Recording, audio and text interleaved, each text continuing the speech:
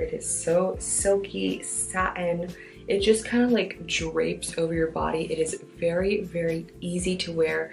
You're not gonna sweat in this because like I said, it just drapes over you. It really feels like um, air and it's so smooth and silky.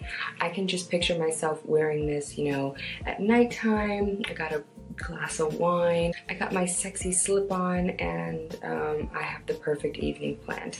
So that's definitely gonna be the move in this one. It has two adjustable straps that are also that satin, but they're kind of spaghetti straps.